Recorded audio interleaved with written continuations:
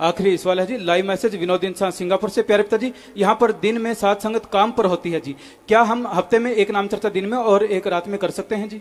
रात को ज़्यादा लेट ना करें और कर सकते हैं अपने माहौल के अकॉर्डिंग समय के अकॉर्डिंग आशीर्वाद।